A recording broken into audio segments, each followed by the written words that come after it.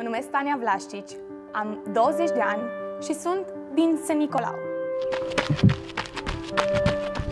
Zbor nu este foarte greu, adică Sunt un artist versatil. Mă numesc Luchin Adriana și sunt uh, din St. Nicolaul Mare. Sunt Aurelian Goia, am 22 de ani și stau la St. Nicolau.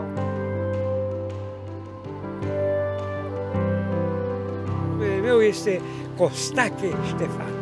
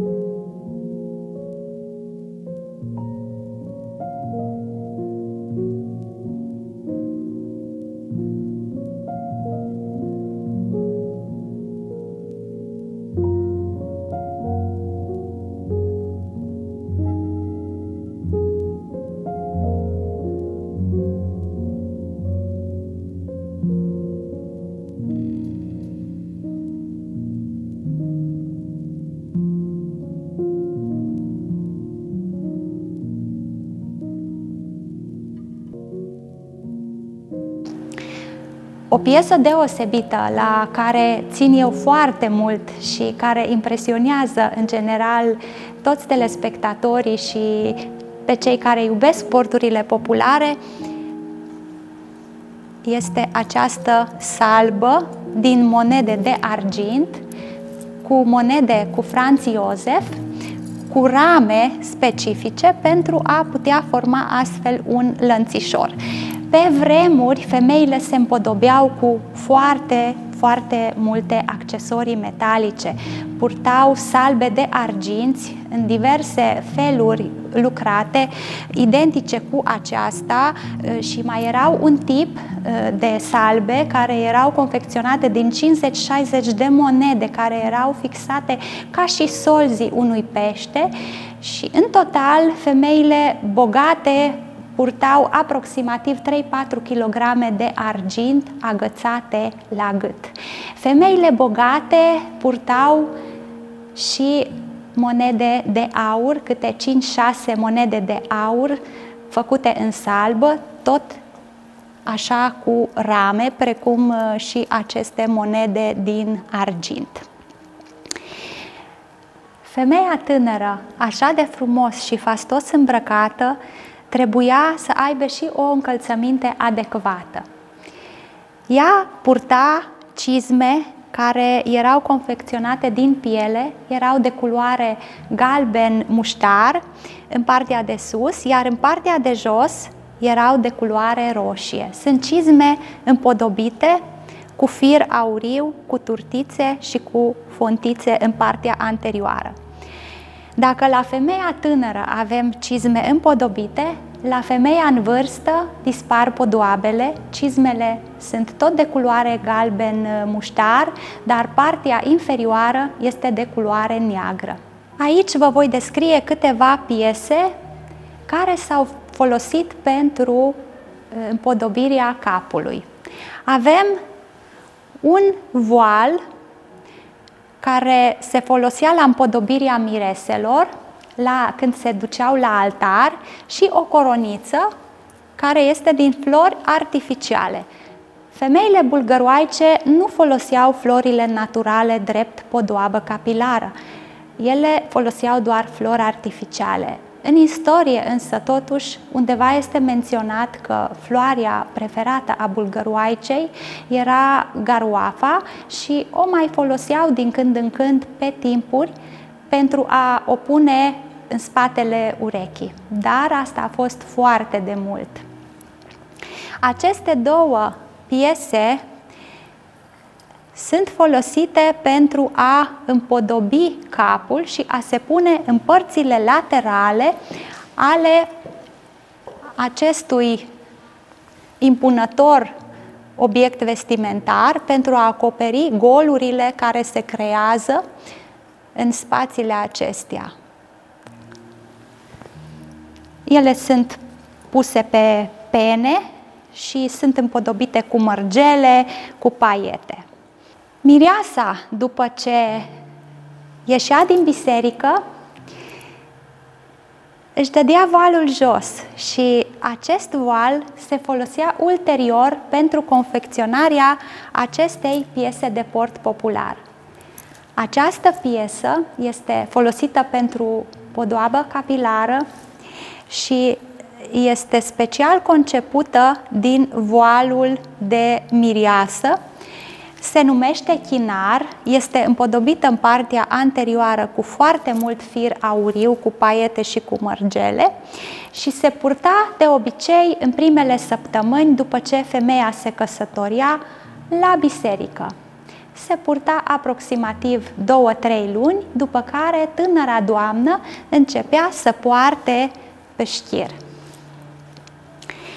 Cu ocazia anunții, Sigur că și tinerii doreau să facă un mic cadou tuturor celor prezenți și făceau pe vremea respectivă aceste brâuri din lână, se făcea câte un brâu pentru fiecare nuntaș și se dăruia cu ocazia anunții. Aceste brâuri se folosesc pentru legarea diverselor piese de port popular. Aici avem o ținută a unei tinere doamne, o ținută specială, prin faptul că vedem acest vârnic care în partea de jos are o pânză de culoare albă cu paiete cusute puțin mai rar decât pe vârnicele cu pânză de culoare roșie. Avem o catrință împodobită o catrință care este țesută cu fir auriu cu mătase și cu motive populare, este împodobită în partea de jos cu trei rânduri de fir, pe mijloc avem acea inimă cu turtițele, fontele de culoare roșie, șorțulețul de catifia, negru cu roșu, vestuța pe care am descris-o anterior, cu năsturei colorați care nu se închide și piesa cea mai aparte la acest costum este această haină, această haină cu aceste mâneci foarte largi, care se lua, se îmbrăca de obicei peste cămașă. În partea de jos, mânecile sunt încrețite, la fel și în partea de sus bogat încrețite și se termină cu o broderie frumos lucrată cu fir auriu. Această haină se purta în sezoanele de primăvară și toamnă peste cămașă și era purtată de uh, fete și tinerele doamne. Bineînțeles, acest costum are exact aceleași trăsături ca și celelalte, cămașă, poală, care nu sunt atât de vizibile și de evidente. Aici avem o haină asemănătoare cu prima pe care, v-am, pe care tocmai v-am descris-o. Este confecționată din catifia, roșu cu negru. Este o haină îmbrăcată primăvara și toamna. Mânecile sunt tot așa de largi, în partea superioară bogat încrețite, la fel și în partea de jos. Această piesă se lua peste cămașă și în față are năsturei cu care se închide. Această ținută este o ținută a Doamnei în perioada postului. Observăm, acest șorțuleț este de culoare albastră, nu este roșu, da? De obicei, perioada postului este într-un sezon de primăvară sau uh, toamnă târzie și avem această haină specifică. În perioada postului, catrințele nu erau atât de împodobite și avem acest șorț care este roșu, este frumos cu motive populare, dar nu este împodobit. În partea din spate, vâlnicul de asemenea nu este atât de împodobit, nu are acele rânduri de paiete, este mult mai simplu. Avem și brâul, brâul care uh, este de uh, aproximativ 4-5 cm lățime și are motive specifice. Acesta este un brâu vechi, spre deosebire de cel pe care l-am prezentat anterior, este cu aceste motive specifice care se numesc luză și este legat în partea anterioară cu o fontă mare de culoare roz. Și ultimul costum pe care o să-l prezint este al femeii mai în vârstă. Este vorba de o femeie care probabil este trecută de 55-60 de ani, care poartă o cămașă nealbăstrită. Așa precum am spus, este o cămașă mai simplă, nu avem așa de multe motive populare cu sute, dar este o cămașă foarte elegantă, foarte frumoasă. Gulerașul este frumos, este înalt, este cu auriu. În partea anterioară avem acest șorțuleț care este de culoare puțin mai închisă, nu este o culoare atât de veselă ca la tinerele fete. În partea din față avem această catrință care nu este atât de bogat împodobită, este țesută cu bumbac, cu fir auriu, motive specifice, iar în partea din spate avem o piesă deosebită care se numește pâște mai. Seamănă cu vâlnicul, este tot așa plisată, doar că nu are în partea inferioară acele uh, șiraguri de uh, paiete, are alte motive. De asemenea, vedem în partea de sus vesta, vesta care este de culoare neagră, confecționată dintr-o stofă groasă, nu este căptușită și nu este brodată bogat, la fel ca și vestele pentru tinerele fete. Are o mică broderie de culoare albastră, nu are năsturei, este o vestă mult mai simplă. Și a rămas să vă prezint acest tip de podoabă a capului care era folosită de către femeile care erau deja căsătorite. Ele aveau o împletitură specială pe care o, o adunau cumva în jurul capului, apoi își puneau un suport, un suport metalic care era învelit în câlți și care se fixa bine pe cap, iar pe care ulterior se făcea legarea baticului. Avem un batic din mătase și o legare specifică bulgăriască cu trei cute. Înseamnă că femeia care s-a legat așa a fost mai tânără. Femeile mai în vârstă au doar două cute laterale. Pe cât de fastoasă și impunătoare este ținuta tinerei fete, pe atât de simplă este ținuta băiatului bulgar și al bărbatului în general. Băieții tineri purtau, la fel ca și tinerele fete, cămăși albăstrite. Sunt cămăși foarte simple, sunt încrețite în partea de sus și în partea de jos a mânecii, crăpate în față, se încheie cu un năsturel sau cu închisători metalice.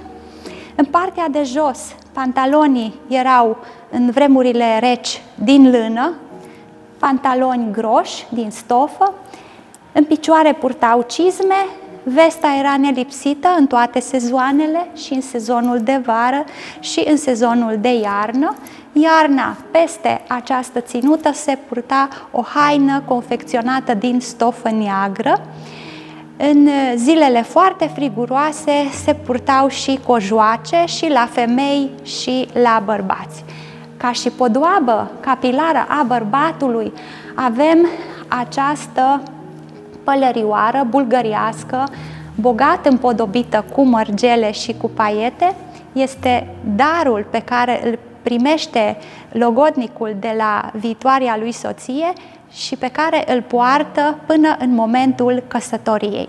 După ce s-a căsătorit, nu mai poartă pălărie împodobită, trece la o pălărie simplă, iar din culoarea negru cu albastru, vestimentația se transformă într-o vestimentație complet albă. Bărbații adulți purtau pantaloni albi, aveau cămașă albă, vestă albă, totul era alb și specific bă bărbatului bulgar este faptul că nu avea brâu, aveau cămășile largi, până jos ajungeau până undeva deasupra de genunchi. Altă piesă pe care o purta bărbatul bulgar este această căciulă, acest tip de căciulă din Astrahan, care se purta în sezoanele reci. Aici sus avem expuse câteva baticuri, baticuri care puteau fi legate sub această formă sau ulterior au uh, fost uh, preluate și legările simple ale baticului la nivelul capului de către femeile adulte. Aici avem un batic al unei femei mai în vârstă. Femeile foarte în vârstă, femeile cu vârstă foarte înaintată, purtau pe cap acest tip de uh, material care se numește pâșchir, care este foarte frumos și care se lega aproximativ la fel ca și acest batic, doar că venea până în spate. Venea, este mai lung și atârnă în spate. Ce pot să spun că aceste piese, multe dintre ele au fost premiate în nenumărate expoziții din Budapesta, din Viena, din uh, Paris sau Bruxelles, în Europa cu ani în urmă. Au fost foarte renumite cuverturile bulgărești, cum o vedeți pe aceasta sau cealaltă, sunt cuverturi autentice, sunt din lână și s-au vândut foarte bine în Europa, au fost cumpărate și de către alte etnii pentru a-și înfrumuseța casa. Multe dintre piesele portului popular nu le mai găsim la ora actuală, le putem vedea doar în poze.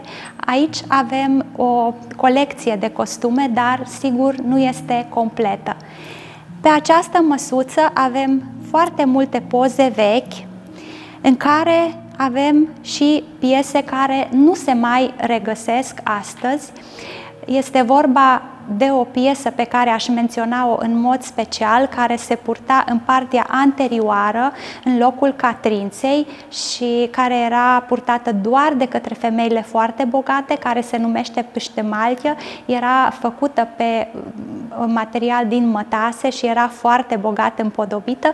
Avem aici o poză a unei străbunici care purta o asemenea catrință și plus alte multe poze cu cojoace care astăzi rar le găsim sau cel puțin uh, nu le prea găsim, mai mult nu le găsim. Despre această colecție pot să spun că este o colecție privată, este o colecție care conține aproximativ 100 de piese, poate și mai bine. O parte din piese sunt moștenite, o parte sunt făcute special pentru mine, iar altă parte din piese sunt cumpărate și uh, restaurate. Astăzi port o ținută cu totul și cu totul specială. Sunt îmbrăcată în această haină din catifia roșu cu negru, împodobită cu paiete. Este o haină pe care o purtau fetele tinere bulgăroaice cu diverse ocazii, primăvara sau toamna. De asemenea, am un brâu care este tot bulgăresc, cu motivul specific năluză. În spate acest brâu este legat cu o fontă. Aceste piese le-am accesorizat cu o fustă modernă, plisată, cu pantofi mai moderni, și cu un lănțișor care seamănă foarte mult cu vechile podoabe ale bunicilor noastre. Și la fel și cerceii. Despre cerceii bulgărești pot să vă spun că toate femeile au purtat cercei, indiferent de vârstă, dar ei nu au fost atât de bine vizibili datorită faptului că existau tot timpul diferite podoabe capilare. Cerceii sunt uh, vizibili cel mai mult la fetele tinere și la tinerele doamne. Cu cât femeia înaintează în vârstă și poartă diferite legări ale baticurilor, cerceii devin tot mai puțin vizibili. Pot să, să spun că viața, viața este unică și avem foarte, foarte multe valori pe care de multe ori nu le observăm, nu avem timp să, să le acordăm atenție. Așa este vorba și de piesele de porturi populare. În general, nu vorbesc doar de portul bulgăresc și celelalte porturi sunt, de fapt, un tezaur care ne-a fost lăsat nouă de către strămoșii noștri, ei au muncit, au, au transpirat pentru a obține aceste bogății și ar trebui să le prețuim, să, să învățăm să, să nu le vindem. Sunt lucruri care, care nu se vând. Aici aș încadra porturile populare, aș încadra pământul și ce pot eu să vă spun? Mă bucur că am această colecție și sper să se bucure toți telespectatorii care au urmărit uh, această emisiune. Vă mulțumesc!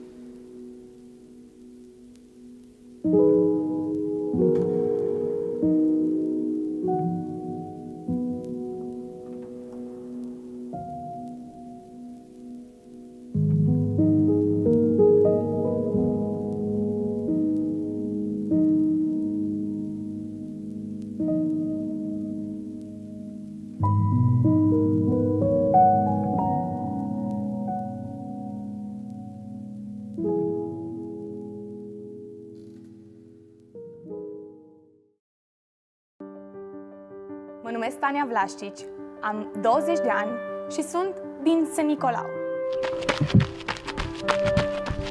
Zbori nu este foarte greu, adică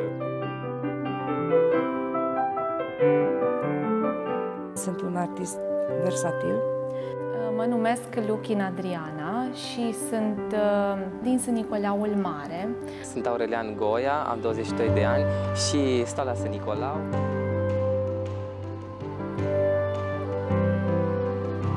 Este, costaque Stefano.